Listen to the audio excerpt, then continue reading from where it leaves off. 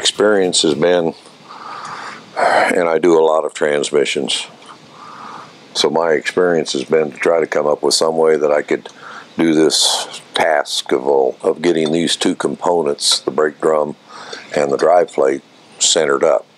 We've went through a process on the lathe, cutting the companion flanges down so everything's square and flush.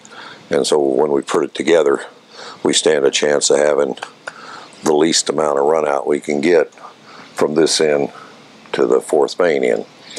So one thing that I came up with that helped me was I found a, a main shaft that was in pretty nice shape. Okay, so I sacrificed a decent main shaft. This one happened to be somebody beat it all up on the top end, and so it was junk anyhow. But so if you had a main shaft that was 998, because that's kind of where we want to be, or if it was 997, it wouldn't make any difference. We've cut off the top part where the bushing would be in the brake in the drive plate, and the purpose of doing that is and, and again, this is the way I do it. it doesn't wiggle and, and jiggle. So you could do this on a vise. And generally the vise has something on the back side that you can smack and beat on. So that's a good place to mount the, the uh, dial indicator, a magnetic dial indicator. So a couple of different ways to get there.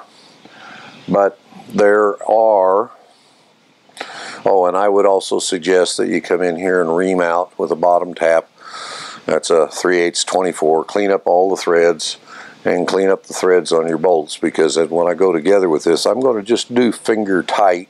And then I'm going to kind of tap around and push on this thing with my dial indicator uh, to, to get it as center as I can. And then I'm going to snug down three bolts and and try to keep it where where I got it centered. And at that point in time because we centered the bushings on the lathe and we uh, in the in the brake drum and we centered the bushing in the drive plate. In theory, you should just be able to plop that down over here on a main shaft and just tighten things down and it goes. Well, it really doesn't work that way because there's six there's really six ways that you can put this on here. So I go ahead and set it in place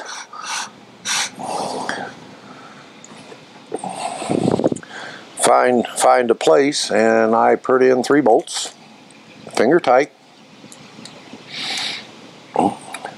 Drop dropped it down.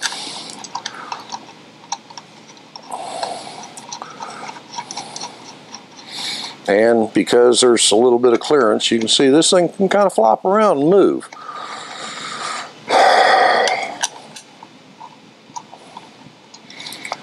So we'll just run them down. I just run them down finger tight, just just snug. And I'll bring my dial indicator up here.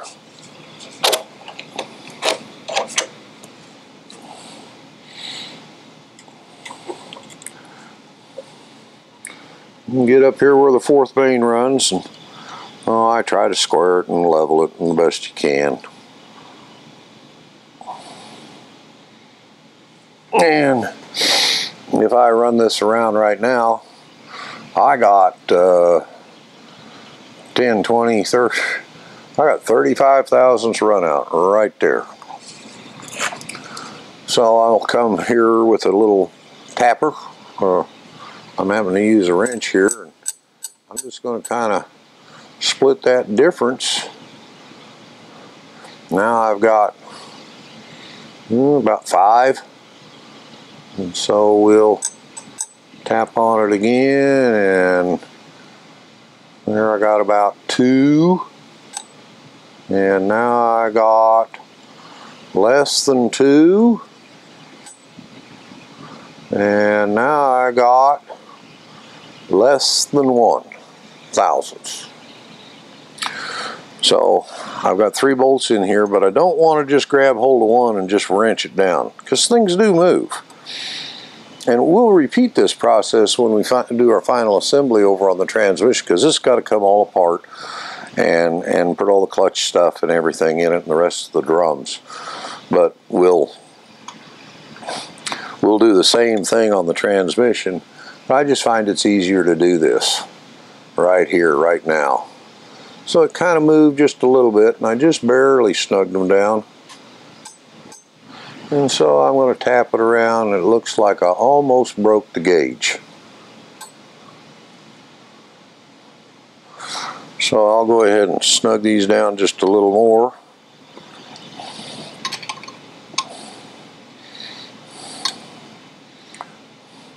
And check and see if it moved any. And I still got less than a thousandth. So I'm going to go ahead and just put them down.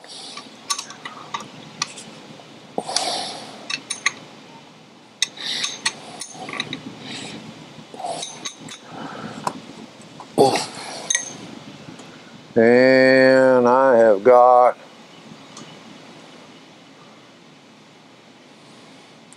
yeah, let's call it an honest thou one thousandths run out right there. You got to remember that you do have some bearing play in here. I can move it hmm, eight or nine just because of bearing clearance. So it's running around here at less than a thou. double check and make sure I got them three locked in. Okay, so we're ready to go over to our main shaft that we've mounted previously on our engine, uh, on our crankshaft flange. Don't have the flywheel in the, in the mix yet, but we know that we had very little to none run out on our main shaft. We got maybe a thou here, so we're going to move over to the to the uh, engine and drop this on, take our dial indicator, and then we're going to try to come up with what is the total runout. And total runout is just don't set this on and spin it on the main shaft. It's rotate the crankshaft, read it, and index this 40, 40, 45, 90 degrees, whatever you want, but just keep rotating the crank and index this around and see what your worst reading is. Okay, and finish so the bearing, and a lot of folks do this. Is there's a product called Time Saver and it's uh, the time saver that you can use is the yellow.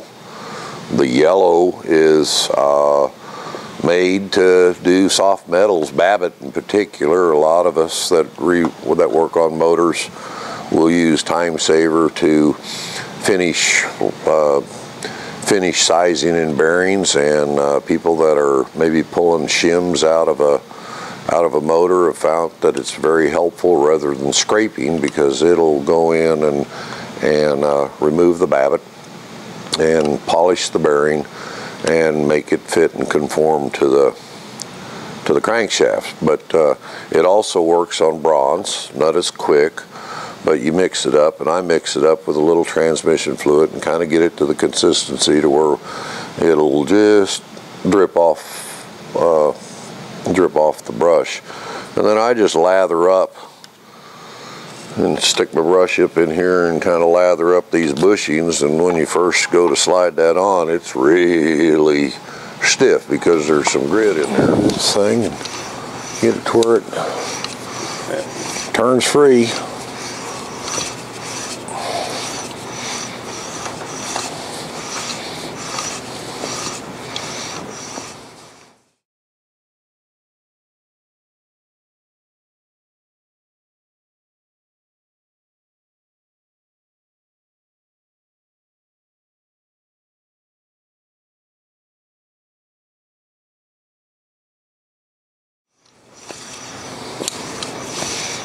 getting close.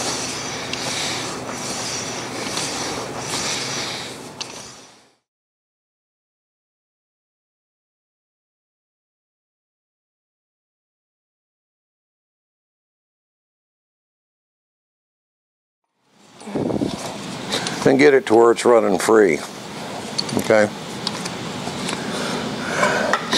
So we'll pull our dial indicator up here.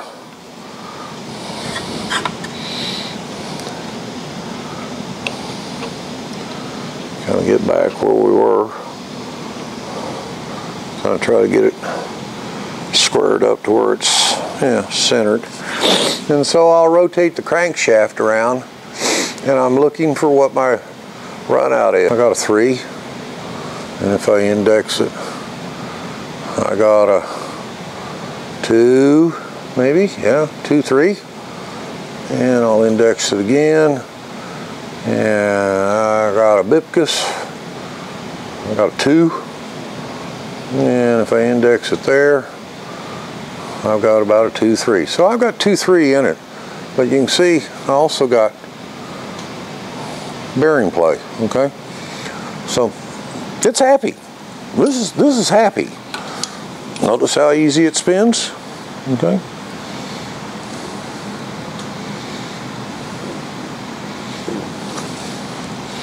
Spins easy. Lots good clearance in it. It's not in a bind. That's happy. So when we get the flywheel on here, things might change because the flywheel might push stuff around. But the, but the whole purpose of doing this is I can get to a couple of three, four thousandths run out in this setup. Uh, five, six is okay. Run them all the time there. We've got the crankshaft the flanges, the main shaft flange. We've, and we tried to cut and, and true that. And then we got the companion, the bushings on the on the drum, brake drums, a couple of those, and the flange of the brake drum, and the flange and the bushing on the drive plate. So there's a lot of things coming in here to play that if you just kind of reamed them out, you'd never get there. So if you put this thing together and you check it, and you can't get it just happy, happy, happy you can always take this loose and rotate it 180 degrees. And a lot of times, it'll it'll do one or two things. It'll either get really happy or it'll get really worse. Uh, you got to remember you're dealing with uh, uh, Henry Ford made that, Scat made this, or the crankshaft grinder ground ground the crankshaft, or the holes are boogered or something. So you so you got to kind of, you can fuss with this, but there's two locations that it could go in. And it's just like the flywheel. The flywheel's the same way. When I put the flywheel on here, if, if I get this unsatisfactory result, a lot of times just rotating the flywheel 180 degrees fixes it. Okay, if you got a main shaft that either way you go on, it it's within reason. Then you could even rotate the you, you could rotate the crank, uh, uh, the, the, the main shaft one way and the flywheel another way. There's several different combinations that this thing would go together. And your goal is to find the one that gets us where we want to be, which would be little or no run out and, and maybe four, five, six up here at the fourth main. And ultimately, uh, when I have reached satisfaction, satisfactory, I'll index everything. So I happen to know on this one that my keyway is uh, in line with my uh, rod. So I've indexed it and I'll take it apart, introduce the flywheel, try it. I'll just throw it up on there and if it works, it's fine. If not, I'll rotate it 180 degrees and see if I can make it happy happy. We've used our dial indicator and we've got three or four thousandths maximum run out. That's rotating the crankshaft around and indexing the indexing the brake drum uh, drive plate around. And so we ran anywhere from kind of a one-ish to a four-ish. So I'm I'm very satisfied with that. So we're going to have things apart here. We got to get the flywheel on. We got to finish building the the transmission. So everything works this way. Remember, there's six different ways that we could put this drive plate around. And if you got, if you can't get it centered up, rotate it a hole. You know, index it and rotate it a hole and see what you get there. Rotate it a hole. And I guarantee you somewhere along the line, you're going to come up with something that's pretty sweet. And that's, and that's due to, you know, we chucked it up in the lathe. We did the best we could indexing the thing in. It's rough out around material.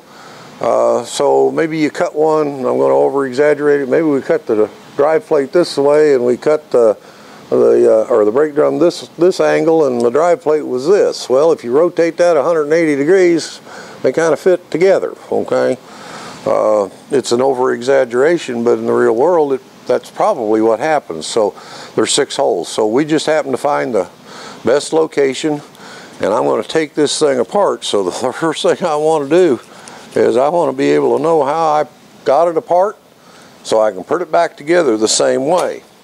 So we index our brake plate, drive plate, and then the other thing that I want to make sure is I got the main shaft. Main shaft can go on two different directions.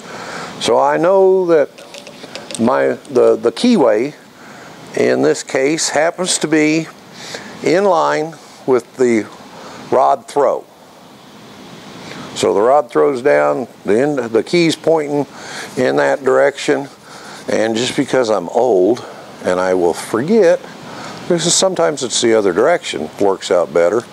I'm to index my key way, and I put an index on my crank. So I just took the yellow paint stick got in there. So now I'm ready to tear this apart. And a lot of times when you put the flywheel on, things change.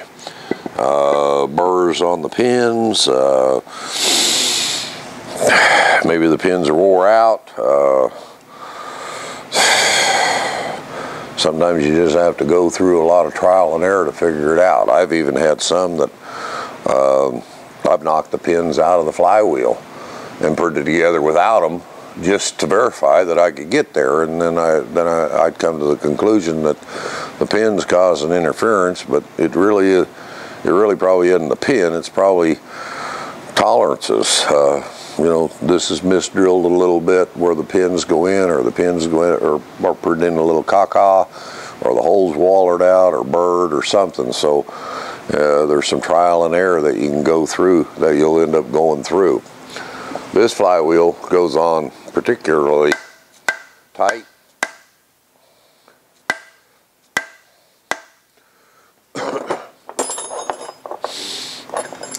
So I'll get it started and I'm going to install our flywheel bolts.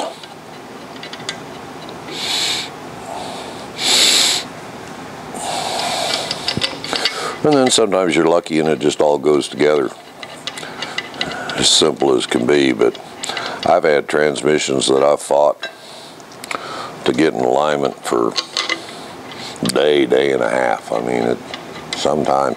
And I've also had some where I've just got a different flywheel. If the flywheel's pushing things over, just find, just put another flywheel on it, and it's just as happy as all get out.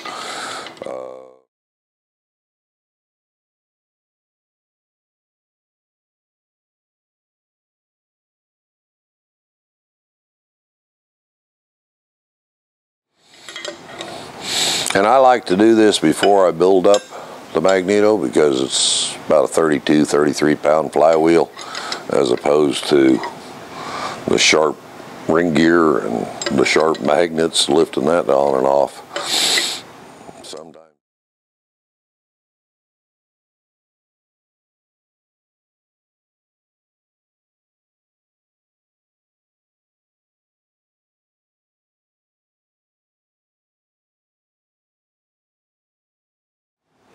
And I'm not really 100% torqued but I'm going to come out here and get down here at the bottom as low as I can. And remember I said we had maybe a thou. And I'm going to rotate this around. And I got about a thou plus. So it moved a little bit but I don't have it torqued down and tighten it on down. We'll go ahead and probably get rid of what a little bit's there. And up there at the top, showing about a little more than two. So I'm going to go ahead and torque this down. Uh, if it was really, if I, if I, if I torqued it down and I, and I had an unacceptable amount of runout, I, I would rotate this flywheel around 180 degrees and see if that made a, uh, an improvement. So there is, this one's exceptionally tight, but some of them, there's a little bit of play clearance in between the flanges of the crankshaft and the flywheel. So a lot of times you can take a dead blow and figure out where which way it needs to move and give her a little smack and bump it over and you'd be surprised. You can bump it over a thou, thou and a half. So it just depends on the parts that you're working with.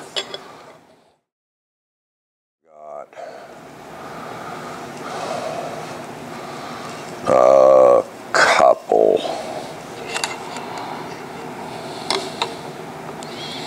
So did, the flywheel did move that main shaft, uh, or at least pushed it over to where it isn't centered like what we had when we just had our bare pins, our pins and, and four bolts in it. But the ultimate gold is what do I have here now? like I said, if I've got if I've got something in the neighborhood of it's just almost too short, isn't it, Bill? Story of my life. Ultimately, I want to see what I got up here. So there's a rotate through, and it's uh, about a four. And there's a five. And there's a three. And there's a nothing. Is broke. So my theory is if you have four to six run out, you'll make a happy, sweet transmission. So even